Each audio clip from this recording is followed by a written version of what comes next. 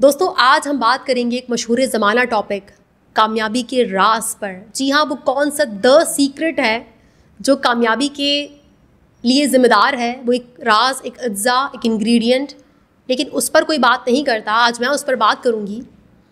और जब भी हम किसी से पूछते हैं कि भाई, आपकी जो सक्सेस है, इसके पीछे रास क्या है तो सबसे ज़्यादा जो तबला बजाया जाता है, वो है हार्ड वर्क का, कि भाई, मैंने तो दिन रात मेहनत की है।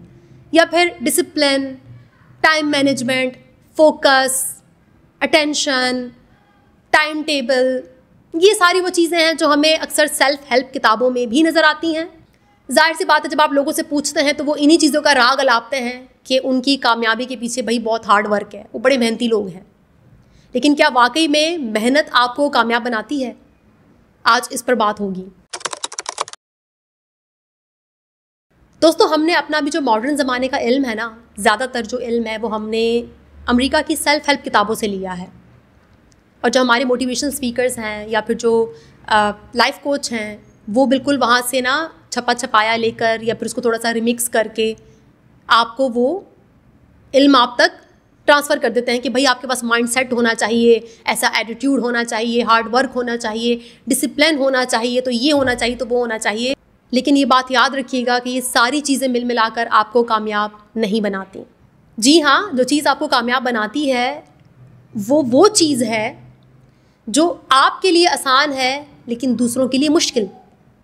कुछ समझ आया या सर के ऊपर से गया? वो चीज़ जो आपके लिए आसान है, आप उसे बहुत आसानी से कर लेते हैं, लेकिन वो दूसरों के लिए मुश्किल है, वही चीज़ आपको कामयाब बनाती है। और उसे कहते हैं टैलेंट। जिसका कोई ज़िक्र नहीं करता। ये जो हार्ड वर्क है टाइम मैनेजमेंट है फोकस है टाइम टेबल है mind set growth mind set attitude और ये सारी चीज़ें, ये तब बहुत ज़्यादा मज़ा देती हैं या ये तब अपना रंग दिखाती हैं जब आप उसे सही जगह अप्लाई करते हैं, यानी कि अपने टैलेंट पर अप्लाई करते हैं। जब टैलेंट का पता होता है कि ये मेरा टैलेंट है, यहाँ मैं, ये रॉ है, लेकिन अगर मैं इस पर ये सारी चीज़ें अप्लाई करता हूँ तो सक्सेस का रास्ता मेरे लिए खुल सकता है। मैं कामयाब हो सकता हूँ। ये टैलेंट ही है दोस्तों, जो आपको दूसरों पर सुपीरियर बनाता है, बढ़तर बनाता है, आपको कामयाबी देता है। मिसाल के तौर पर मैं किसी बच्चे को टाइम टेबल तो बनाकर दे सकती हूँ। मैं उसको अच्छा महँगा पेन भी ला कर दे सकती हूँ। मैं उसे जो अच्छी राइटिंग है, उसकी टेक्निक भी बता सकती हूँ। अच्छा सफ़ा अच्छे गैजेट्स भी ला कर दे सकती हूँ, लेकिन जो कंटेंट है, जो राइटिंग एक्सप्रेशन है, जो स्किल है, जो टैलेंट है लिखने का, वो मैं उसे नहीं सिखा सकती।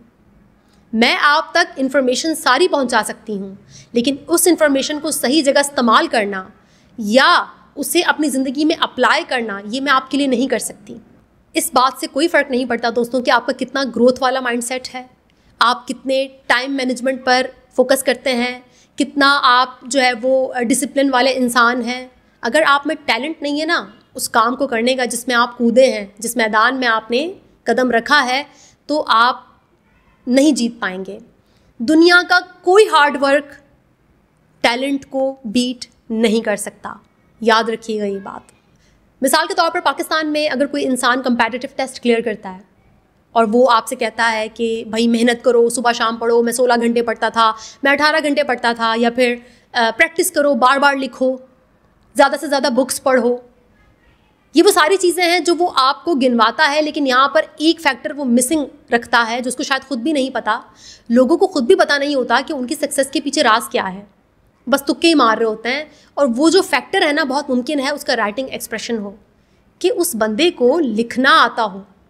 या फिर वो जो आर्ग्यूमेंट देने का जो उसका अंदाज़ है, चूँकि वो एक बहुत बैलेंस्ड इंसान है, ना वो ज़्यादा किताबी बातें करता है, ना वो ज़्यादा रिबिलियन किस्म का, बागी किस्म का आर्ग्यूमेंट देता है, बल्कि उसका आर्ग्यूमेंट बहुत बैलेंस्ड है, क्योंकि उसकी पर्सनैलिटी बहुत बैलेंस्ड है। अगर आपकी पर्सनैलिटी शिद्दत पसंद है ना तो फिर आप बैलेंस्ड आर्ग्यूमेंट नहीं दे सकते।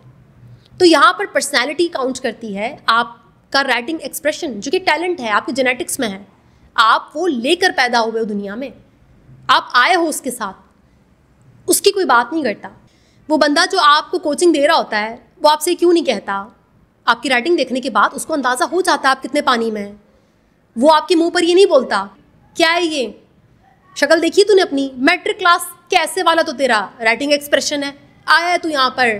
कंपेरेटिव टेस्ट क्लियर करने। छोड़ भाई, तेरे बस का गेम नहीं है, तू कुछ और कर ले। तेरा कोई और टैलेंट होगा, कोई और तेरे अंदर खूबी होगी। ये तेरा गेम नहीं है।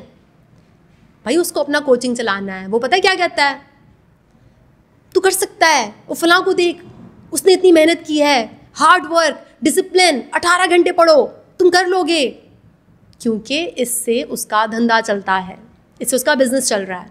वो आपको मोटिवेशन हार्ड वर्क इसकी गोलियाँ देगा, इसकी टोपियाँ कराएगा। और यही वजह है कि आपको लगता है कि जब ये सब कर सकते हैं तो मैं भी कर सकता हूँ। लेकिन आप नहीं कर सकते। वो आपके लिए नहीं बना। और यहाँ पर इन कोचिंग वालों से ज़्यादा कसूर आप लोगों का है, क्योंकि आप लोग हकीकत सुनने की हिम्मत नहीं रखते। हर इंसान को अच्छा लगता है, जिसे ये कहा जाए कि नहीं यू कैन डू इट लेकिन अगर आप किसी को ये कहें कि भाई साहब, ये आपके बस की बात नहीं है, आपसे ना हो पाएगा, आप कुछ और कर लीजिए तो फिर आपको बुरा लग जाएगा। आप खुद ये नशा लेना चाहते हैं आप खुद इस झूठ को सुनना चाहते हैं, आपको वही सुनाया जाता है जो आप सुनना चाहते हैं। जिस दिन आप सच सुनने की हिम्मत ले आएँगे ना तो सामने वाला भी सच बोलेगा आपको। यहाँ पर कसूर सिर्फ़ कोचिंग सेंटर्स का नहीं होता, यहाँ पर कसूर सिर्फ़ लाइफ कोच का नहीं होता, मोटिवेशनल स्पीकर का नहीं होता। आप भी अपनी अदाओं पर गौर करें, अगर वो अर्ज़ करेंगे तो फिर शिकायत होगी। तो कुछ आपके अंदर भी मसले मसाइल हैं, आप हकीकत सुनने को तैयार नहीं हैं। दोस्तों, अगर हार्ड वर्क से इंसान कामयाबी की बुलंदियों तक पहुँचता तो आज शायद इस पूरी दुनिया में सबसे कामयाब गधे होते क्योंकि सबसे ज़्यादा मेहनत हार्ड वर्क वही करते हैं। तो ऐसा नहीं है जो मज़दूर लोग हैं, जो लेबर है हमारे यहाँ पर, सबसे ज़्यादा मेहनत तो यही करती है। तो इनको कामयाब होना चाहिए था, लेकिन ये कामयाब नहीं है, क्योंकि हार्ड वर्क से आप, सिर्फ़ हार्ड वर्क से आप कामयाब नहीं हो सकते। अगर ये सारी हार्ड वर्क डिसिप्लिन ये सारे चौंचले अगर टैलेंट पर लगाए जाएँ तो फिर आप की जो सक्सेस है ना, उसको चार नहीं बल्कि आठ चाँद लग जाते हैं। दोस्तों सवाल ये पैदा होता है कि आप अपना टैलेंट कैसे मालूम कर सकते हैं? या फिर टैलेंट क्या है आप में कैसे पता चलेगा? इसको पता करने का ना, मेरे पास कोई फिक्स फार्मूला नहीं है। लेकिन मैं आपको सिर्फ़ थोड़े बहुत हिंट दे सकती हूँ, जिससे शायद आपको अपने टैलेंट का अंदाज़ा हो सके। साइकोलॉजी में एक स्टेट होती है, जिसको हम कहते हैं फ्लो स्टेट याद रखिए, आपकी लाइफ में वो सब्जेक्ट या वो काम या अपनी जॉब में आप देखें वो कौन से एरियाज़ हैं, जहाँ पर जब आपको कोई टास्क दिया जाता है तो उस जगह आप ना ही बहुत ज़्यादा स्ट्रेस में जाते हैं और ना ही आप बहुत बोर होते हैं क्योंकि वो काम आपको बहुत आसान लगता है.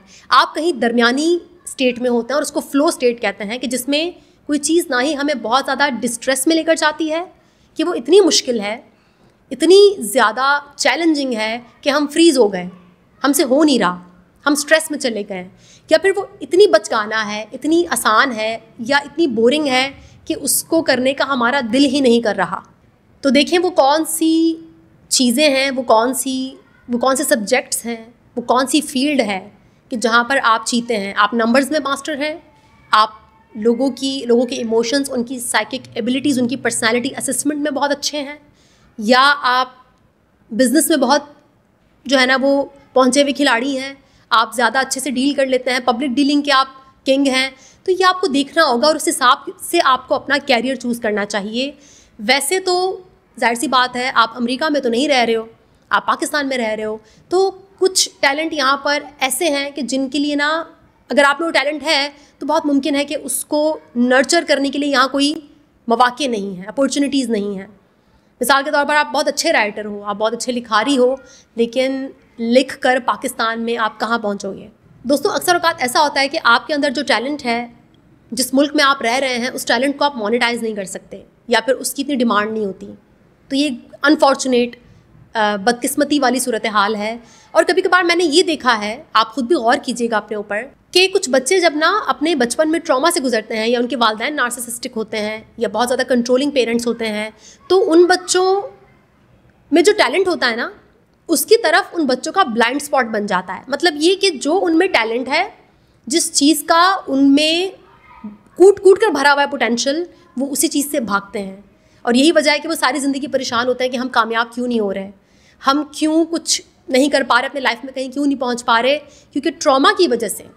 या वालदेन के बहुत कंट्रोलिंग बिहेवियर की वजह से या जो भी आपके बचपन के पास्ट एक्सपीरियंसेस हैं, उसकी वजह से आपका जो टैलेंट है ना, उसके गिर्द एक बहुत बड़ा ब्लाइंड स्पॉट बन गया है। या उस टैलेंट से आपका ट्रॉमा जुड़ गया है।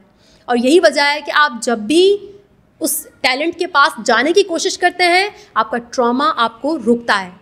वो आपको आगे नहीं बढ़ने देता, वो आपको आपके हाईएस्ट पोटेंशियल की तरफ़ नहीं जाने देता। तो ये भी एक पहलू है। अपने आप, अपने ऊपर गौर कीजिए। कि क्या ऐसा है?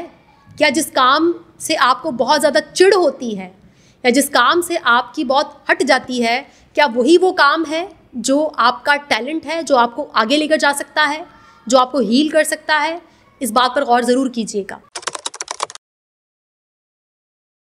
अगर तो ये वीडियो कोई पेरेंट देख रहा है, कोई वालदेन देख रहे हैं तो मेरी आपसे एक ही गुजारिश है कि जो पेरेंटिंग है ना, उसमें दो किस्म की अप्रोच होती है। एक अप्रोच होती है कारपेंटर पेरेंटिंग और दूसरी को हम बोलते हैं गार्डनर पेरेंटिंग अब जो कारपेंटर होता है ना, वो चीज़ों को अपनी मर्ज़ी के लिहाज से शक्ल देता है शेप देता है. मिसाल के तौर पर अगर आपका बच्चा ट्रायंगल शेप का है और आपको सर्कल शेप पसंद है, क्योंकि आपको लगता है कि सर्कल शेप बहुत अमेजिंग होती है और इसमें बहुत पैसा है और इसमें बहुत चार्म है और इसमें बहुत स्टेटस है और मेरी वाह होगी तो मैं अपने बच्चे को ट्राइंगल से सर्कल शेप में फिट करूँगा। तो आप एक कारपेंटर पेरेंट हैं। और अगर आप वो पेरेंट हैं जिसको पता है कि मेरा बच्चा ट्राइंगल शेप में आया है इट्स ओके okay, कोई बात नहीं है। मैं इसी शेप में इसको ग्रो करने में हेल्प करूँगा। जैसे कि एक माली होता है ना माली पौधे को बढ़ाने के लिए ना कुछ भी नहीं करता। वो सिर्फ़ पानी देता है। कोशिश करता है कि सूरज की रोशनी मिले खाद डालता है। बाकी पौधा खुद नर्चर होता है। वो खुद बढ़ता है खुद नशोनुमा करता है। तो अपने बच्चों के टैलेंट्स जानना बहुत ज़रूरी है। अगर आपका बच्चा ट्राइंगल है और वो ट्राइंगल शेप में ही बहुत कमाल कर सकता है या कमाल है तो कोशिश करें कि उसको वहीं पर आगे बढ़ने के लिए सपोर्ट करें। क्योंकि बच्चे को ट्राइंगल से सर्कल बनाते बनाते ना आप उसे शायद किसी मकाम तक तो ले जाएँ, लेकिन वहाँ पहुँच कर ना वो खुश नहीं हो सकता, वो बर्न आउट हो जाएगा। अक्सर लोग अपनी लाइफ में इतनी मेहनत करते हैं ना इतना अपोजिट डायरेक्शन में जाते हैं अपने टैलेंट के, इतना ज़्यादा हार्ड वर्क करते हैं कि जब वो एक सर्टेन लेवल पर पहुँचते हैं तो वो बर्न आउट कर जाते हैं। ना उनसे काम होता है, उनका बिज़नेस कोलैप्स कर जाता है, उनसे जॉब नहीं हो रही होती। उनका बुरा हाल हो जाता है क्योंकि आपने इतना हार्ड वर्क किया, इतना अपने ऊपर जुल्म किया कि आपने अपने सारे वो ब्रेन में जो रिसेप्टर्स हैं ना, वो जला डाल लें बर्न आउट हो गया आपका, अब आपसे कुछ भी नहीं होने वाला। और जहाँ तक बात डिसिप्लिन टाइम टेबल इन सब चीज़ों की है, ठीक है, ये आपकी लाइफ में किसी हद तक इम्प्रूवमेंट तो लेकर आ सकते हैं, आपकी लाइफ को इम्प्रूव कर सकते हैं, आपकी सेहत अच्छी हो सकती है, आपके काम वक्त पर हो सकते हैं, लेकिन ये आपको कामयाब नहीं बना सकते। क्योंकि जब किसी चीज़ का टैलेंट ही नहीं है तो उसमें कामयाबी मिलना मुमकिन नहीं है। अगर मैं आपको अपनी मिसाल दूँ, अपनी पर्सनल लाइफ से, कि मैं जितनी इंट्रोवर्टेड और कम को ज़्यादा बात ना करने वाली मेरी शख्सियत उतना ही मेरा जो टैलेंट है ना, वो बात करने में है। जी हाँ लोगों से बात करने में, उनके इमोशंस को समझने में, उनकी डीप साइकी, उनकी गहरी नफ्सियात को समझने में, लोगों से इंटरेक्ट करना, उनसे बात करना, उनको समझना, उनके इमोशंस को, उनकी लाइफ को, उनके इश्यूज़ को, ये मेरा टैलेंट है। और मैं अपनी लाइफ में ना, सबसे ज़्यादा इसी से भागती रही हूँ। मैं लोगों से ही भागती थी। आदम बेजार और वक्त गुजरने के साथ मुझे पता चला कि मेरा टैलेंट ही ये है, मुझे लोगों से भागना नहीं है, मुझे उन्हें समझना है, मुझे उनसे बात करनी है। तो मेरा टैलेंट क्या था? थेरेपी, काउंसलिंग, जबकि मेरी पर्सनैलिटी इसके अपोज़िट थी। लेकिन जब मुझे इस बात का शूर आया कि दरअसल मेरा टैलेंट तो यहाँ पर है तो फिर बहुत स्लोली ग्रेजुअली उस पर थोड़ा सा काम करने के बाद, थोड़ा उसको नर्चर करने के बाद मुझे उसके बहुत अच्छे नतज मिलना शुरू हुए। आज मेरे लिए किसी भी इंसान से बात करना, उसकी पर्सनैलिटी को समझना, उसका एनालिसिस करना बहुत एफर्टलेस होता है। जी हाँ टैलेंट वो है ना, जिसमें आप एफर्टलेस होकर काम करते हैं।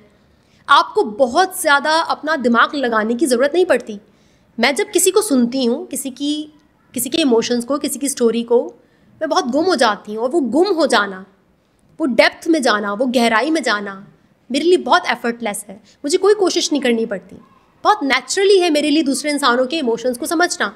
दोस्तों, मैंने अपनी मिसाल आपको इसलिए दी ताकि आपको ये अंदाज़ा हो कि टैलेंट सिर्फ़ singing dancing acting Shahrukh Khan बनना या इलॉन मस्क बनना नहीं है, बल्कि टैलेंट बहुत सटल भी होता है, बहुत गहरा और छुपा हुआ भी होता है। जैसे कि मैंने आपको अपना टैलेंट बताया कि मेरे लिए दूसरों के इमोशंस को समझना बहुत आसान है। और यही वजह है कि मेरे लिए बेस्ट फ़ील्ड काउंसलिंग थी थेरेपी थी। उम्मीद करती हूँ कि आज की इस वीडियो में मैं किसी हद तक अपना नज़रिया समझा सकी होंगी आपको। इन नेक्स्ट वीडियो मुलाकात होगी। तब तक के लिए अपना बहुत ख्याल रखिएगा। Thank you so much